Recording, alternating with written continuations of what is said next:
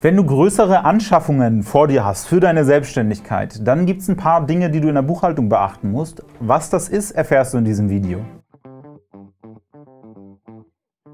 Hi, mein Name ist Melcher von der Kontist Steuerberatung und wenn du größere Sachen anschaffen möchtest für deine Selbstständigkeit, dann kannst du das gerne tun. Grundsätzlich sind diese Anschaffungen auch Betriebsausgaben. Ich habe übrigens zu dem Thema, was du als Betriebsausgabe absetzen kannst und was nicht, schon mal ein anderes Video aufgenommen. Das verlinke ich dir hier einmal oben rechts kaufst dir Dinge, die du auch langfristig für deine Selbstständigkeit brauchst. Beispielsweise ein Computer, deine Einrichtung, dein Auto. All diese Dinge, die nutzt du ja länger als nur einmal dann kannst du sie zwar steuerlich berücksichtigen in deiner Buchhaltung, aber nicht sofort. Du darfst sie nicht in voller Höhe quasi als Betriebsausgabe einbuchen. Wenn du jetzt ein Auto für 30.000 Euro kaufst, dürftest du diese 30.000 Euro nicht sofort im ersten Jahr steuermindernd geltend machen. Du verwendest ja auch, wenn du dieses Jahr ein Auto kaufst, hoffentlich es auch nächstes Jahr.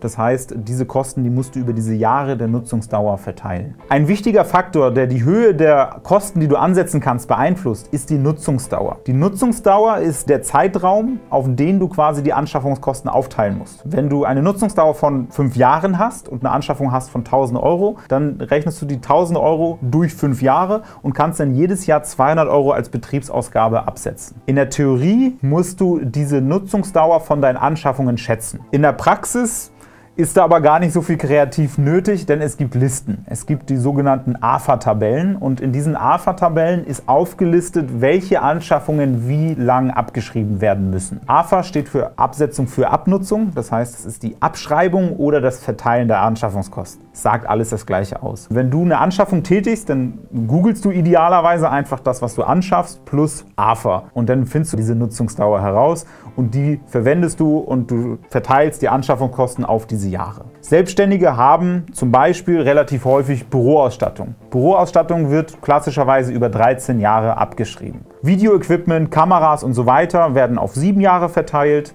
PKWs auf sechs Jahre und Smartphones und Handy auf fünf Jahre. Jetzt magst du dir vielleicht schon denken, naja, Handy fünf Jahre, mein Handy ist erst drei Jahre alt und schon lange nicht mehr auf dem technisch neuesten Stand. Was mache ich denn, wenn ich es tatsächlich viel kürzer nutze? Dann gibt es die Möglichkeit der außerplanmäßigen Abschreibung. Die außerplanmäßige Abschreibung, die kannst du vornehmen, wenn du dein Gerät oder dein, deine Anschaffung kaputt geht, verloren geht, geklaut wird oder auch aufgrund von schnellen technischen Innovationen einfach schneller weniger wert ist. Dann kannst du abseits dieser gleichmäßigen Verteilung auch immer noch so eine außerplanmäßige Abschreibung vornehmen und zusätzliche Kosten einbuchen. Und damit vermindert sich natürlich auch der Restwert am Ende des Jahres, in dem du es genutzt hast. Und dann schreibst du im folgenden Jahr einfach ein bisschen weniger ab. An dieser Stelle ein wichtiger Hinweis. Und zwar seit diesem Jahr, seit 2021, müssen Computer, Hardware und Software nicht mehr abgeschrieben werden. Da gab es eine Gesetzesänderung und die betriebsgewöhnliche Nutzungsdauer von Computer wurde reduziert auf ein Jahr. Vollkommen egal, wie teuer dein Computer ist, du darfst ihn immer sofort als Aufwand behandeln.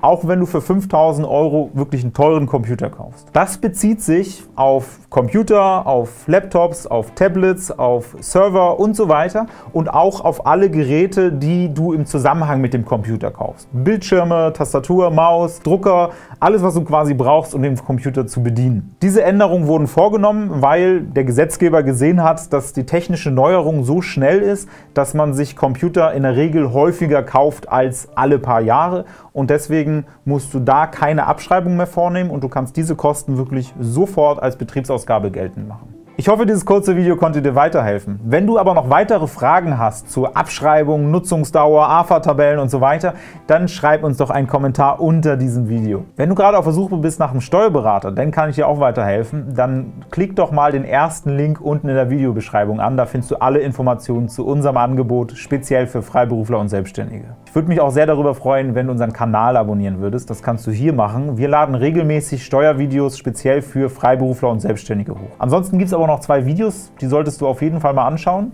Das Video, da erkläre ich dir, welche Ausgaben du generell als Betriebsausgabe absetzen kannst und in der Buchhaltung berücksichtigen kannst. Und in dem Video gebe ich dir einen Überblick, also 13 Steuertipps, wie du weniger Steuern zahlen musst.